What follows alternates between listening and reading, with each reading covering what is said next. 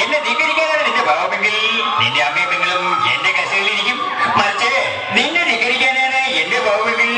എന്റെ അമ്മ